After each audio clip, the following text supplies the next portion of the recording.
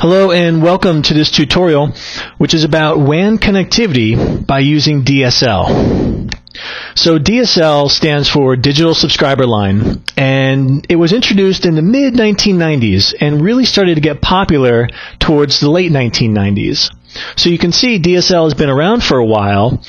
However, it's still a relevant technology. There are still many instances of DSL for home users and for business users.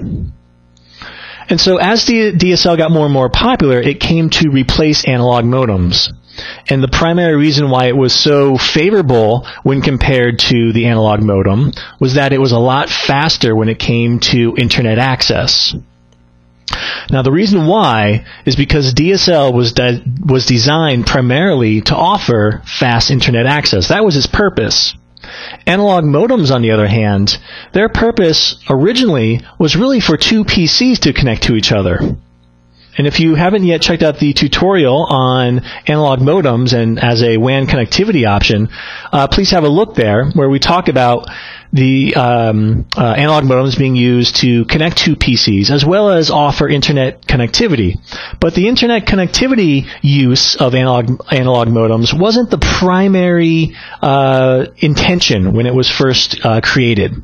So DSL by design was meant to be better, and it was. So let's look at some of the details of DSL. So we start off by having a router or a DSL modem. You can use either one. Usually the router has to be DSL enabled, um, but you can use either one. There are a lot of options there. And the DSL modem or router will connect to a regular POTS line, just like an analog modem um, does as well. So you can use your existing landline at home. However, it needs to be enabled by your telecom provider for DSL. Because on the other end of that POTS line is something called a DSLAM. Now the DSLAM stands for DSL access multiplexer. And that's the, the, device that would terminate the DSL service offered by your ISP or your telco provider. Some of the differences between DSL and analog modems are that with DSL, on this POTS line, you can use both a regular phone and DSL at the same time. Whereas with the analog modem, you couldn't. You were either on the phone or using the modem. You couldn't do both at the same time. With DSL, you can use both at the same time. And the reason being is that DSL and a, and a regular analog phone call use different frequencies. The DSL was using a higher frequency and the phone call was using a lower one. So that's how they could coexist at the same time on a POTS line without any interference. Now, when you connected to the POTS line and you started sending traffic to your ISP, at the ISP, the DSLAM would then connect to their infrastructure, their routers, which would then route your traffic to the internet or wherever you were going. DSL introduced the concept of always on connectivity. So if you remember with dial up, with analog modems, you had to do just that. You had to dial into something, either to a, a modem bank uh, at your ISP or to another computer, and you would actually use a phone number to do that, right? Because it used the PSTN, and people were always very conscious of how long they were online because it was essentially a phone call as far as your telecom provider was concerned. Well, with DSL, you didn't have to dial in every time you wanted to get online. You would connect once, and then you were just always on, and you would leave it on. Now that seems pretty commonplace today. However, back at the time, this was a different approach for most people. So here you can see we have our home or business user with the DSL router or modem, and it's using um, DSL and it connects to a POTS line into the DSLAM, and then the DSLAM is owned and operated either by a telco or an ISP, and they go ahead and route traffic to and from the internet um, as you choose. Okay, let's talk about DSL and speed. So there are two categories we can talk about when we talk about DSL speed. However, keep in mind there are many different service providers and they all offer different packages. So you'll have to shop around and compare prices and speeds to find out what's right for you. But generally speaking, we can talk about two categories. The first category is called symmetric or symmetric DSL, sometimes just called SDSL. And with symmetric DSL, the speed of your circuit in both directions is going to be the same. So the speed going this way and the speed going that way are going to be the same, and that's symmetric DSL. Now keep in mind, this speed is called your upload. And this one is called your download. And that kind of makes sense because if you're this, this user here and you're sending a lot of traffic to, let's say, a web server over here, you're uploading it to this server. However, if there's a web server here and you're going to visit it, you're going to download a lot of information from that server back to you. So when you talk about speed, you'll talk about upload and download.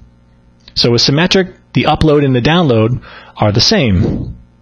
The other category is asymmetric or ADSL. And with ADSL, the upload and the download speeds are not the same. In fact, they're different. Now, the most common deployment of ADSL is a higher download speed than the upload speed. And the reason why ADSL is like this is because for most casual users, most people at home, all they do is go to websites, for the most part. And really, when you're going to a website or when you're going to most services online, you're pulling in more information than you're sending out. So that's why ADSL is kind of geared towards the home user or the casual user. And it's a very popular service. It's a little bit less expensive than your standard symmetric DSL. Now, some of these speeds we're talking about can vary from 1.5 megabits per second download to, if you're talking about asymmetric, to 128K upload. So you can see the up and down can vary quite significantly on an ADSL circuit, whereas with a symmetric, it would be, for instance, 1.5 megs in both directions.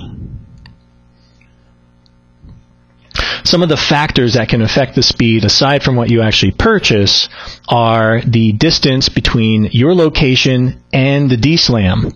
So the greater this distance, the less uh, speeds you're going to get, the lower speeds you're going to get. And in fact, if you go far enough out from the from the CO and the DSLAM, you just won't be able to get DSL service at all. It just won't be available in your area, which is pretty typical in a lot of remote uh, countryside areas. The other factor that can play a big part in the DSL speeds is the quality of the cabling, both in your building and the and the cabling that's run to the DSLAM.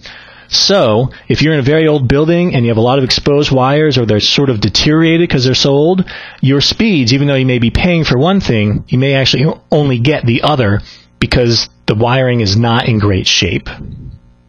Okay, so those are some things to keep in mind when we talk about DSL speeds. All right, so let's summarize what we covered. We now know that DSL was designed to be fast, and that's why it pretty much replaced analog modems for the most part, at least when it came to internet access.